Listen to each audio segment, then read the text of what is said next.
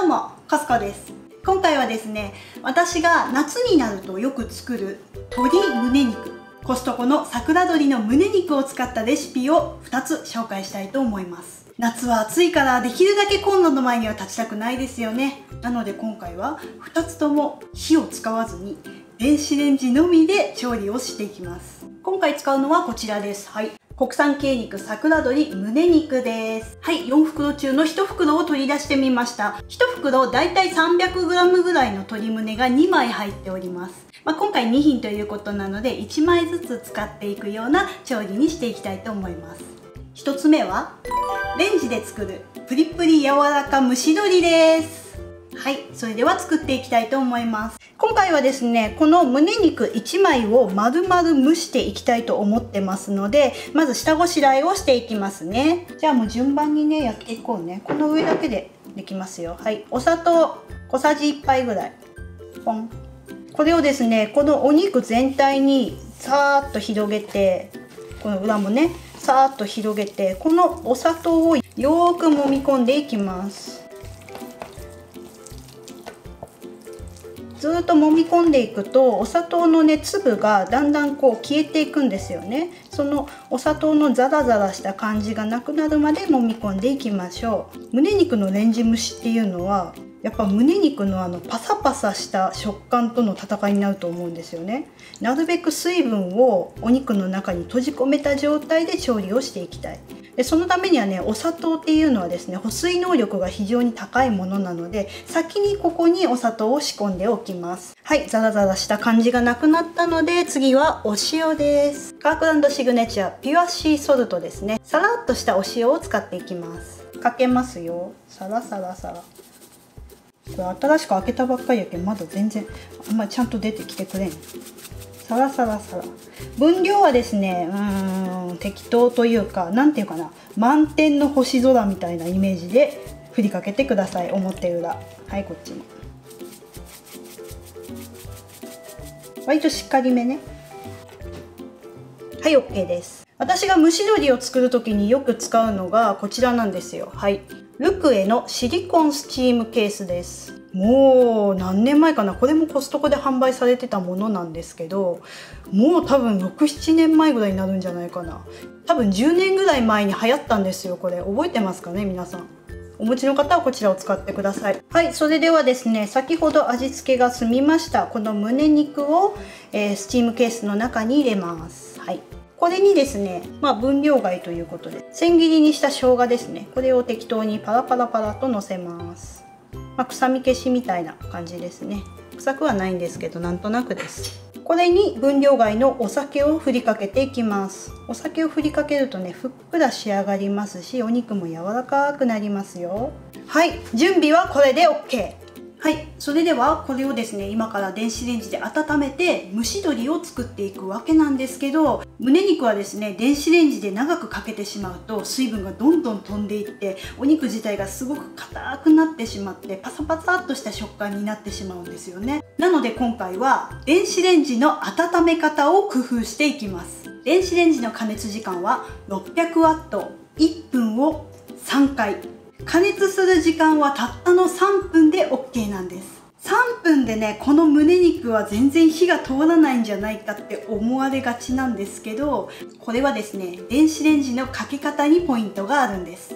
はいそれでは早速調理をしていきます。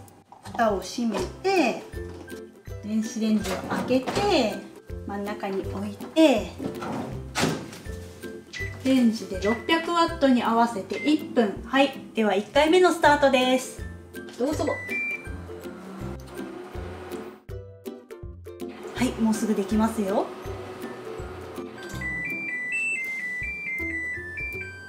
今1回目の加熱が終わって開けたいところなんですけどこれはですね開けずにこのまま30秒間待ちます。30秒後に2回目の加熱をしていきます。こうやってですね少しずつ細切れに加熱調理をしていっていきなりこう強い熱がガーッと中まで入るっていうのを防いでいくんですね。今一切触らずしかもドアも開けずにねこのまま放置をしている状態で今からもう一度2回目の加熱をしていきますよ。はい。600ワット1分。スタートです。こういう感じでですね電子レンジの1分間の加熱というのを3回繰り返します。ちょっと休ませて加熱してちょっと休ませて加熱してちょっと休ませてっていう感じでちょっとずつ火を入れていくというイメージですね。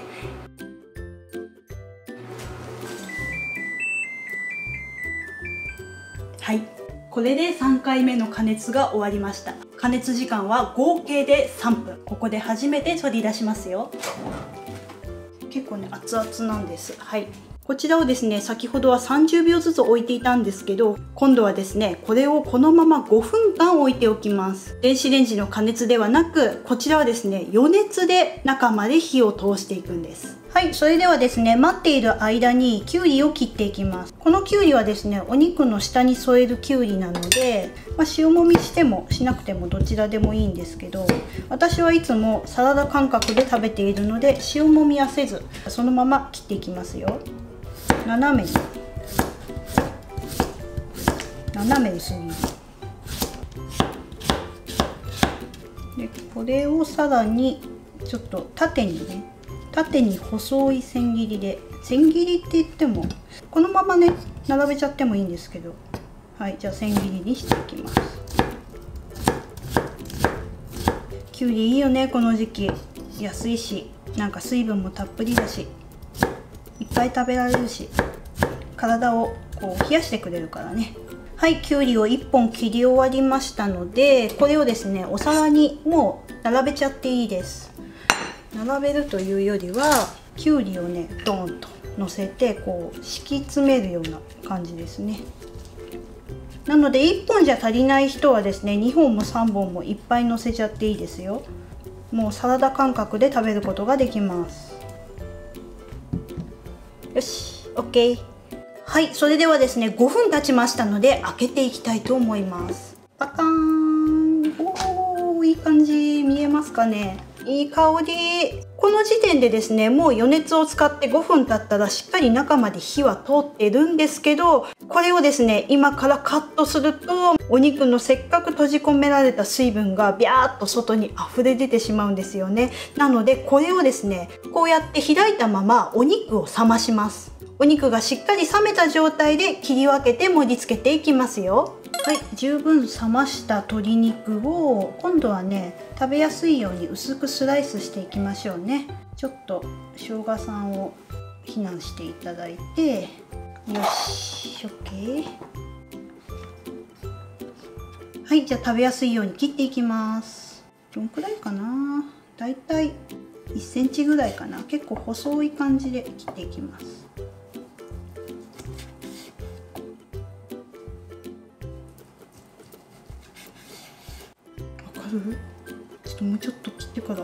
したいな。ほら。なんかわかるかな？これうっすらピンク色になってるの。これ画面で見たら白にしか見えないかな。でもこれね肉眼で見たらねこの身がうっすらピンク色になってるんですよ。これがいいんです。これが冷めた状態であらかた熱が取れた状態で切るとお肉もねしっとりして食べやすいしあとこうやって切ってる時に肉汁が溢れてこないんですよね。わかりますか？うっすらピンク色なの。こう鶏ハムほどではないんだけどレンジで温めただけだからね。でも加熱しすぎてないからもう真っ白のパサパサじゃないんですよ。水分がしっかり入っててあまり加熱をしすぎない。ちょうどいい加熱時間で調理ができています。であとはねもう食べやすいようにスライスしていきます。美味しそう。絶対美味しいこれ。まあねこれでうっすら温かい状態でもいいんだけど冷蔵庫に入れて完全にキンキンに冷やして食べてもきっと美味しいはず。はいそれではお皿に盛り付けていきます。よいしょ。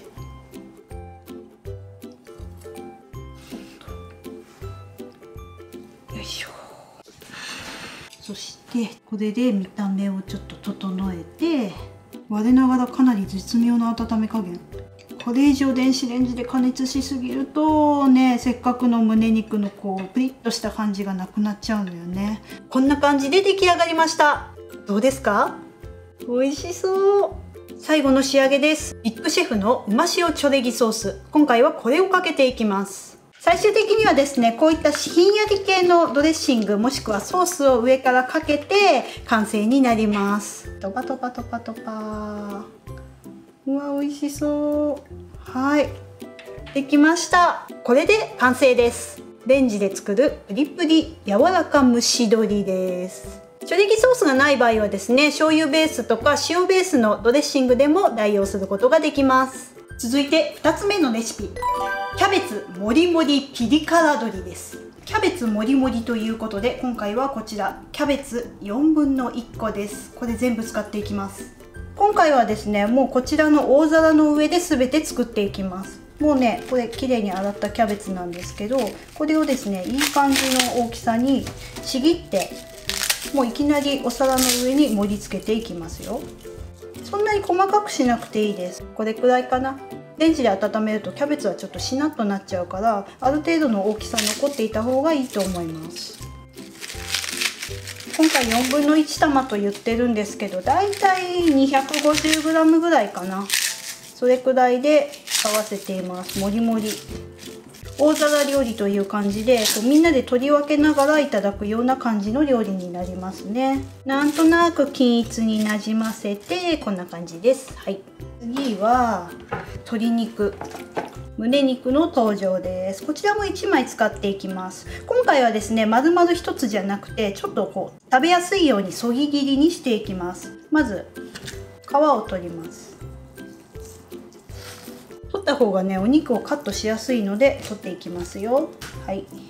はいそれではですねまずこの真ん中のところから半分に切って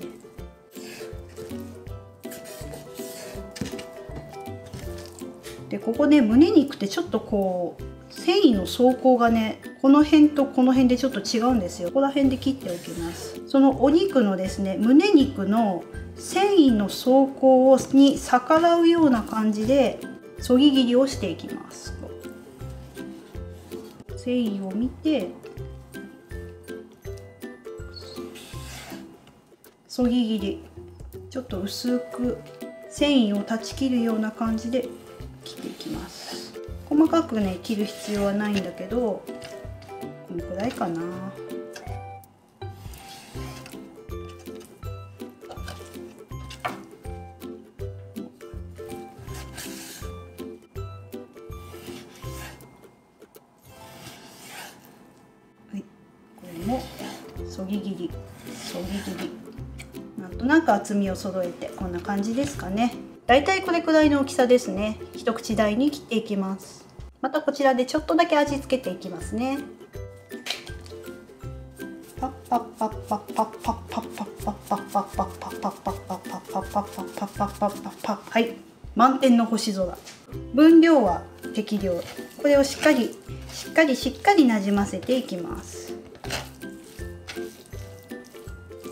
そしたらですね先ほど用意したこちらのお皿のキャベツの上にお肉をさらっと並べていきます。生肉のまま乗せていきますよ。ポイントなのはあんまり重ならない方がいいです。レンジで加熱調理をする時になんとなくねこうやってこう均一に広げておいた方が熱の通りが一定に保たれるんですね。なんとなくね。はいこんな感じです。これをですね今からラップをかけてレンジで加熱していきます。ラップをかけます。よいしょ。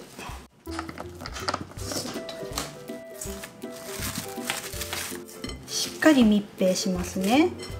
それでは今からレンジで温めていきます。今回の加熱時間は電子レンジ 600W で2分を3回。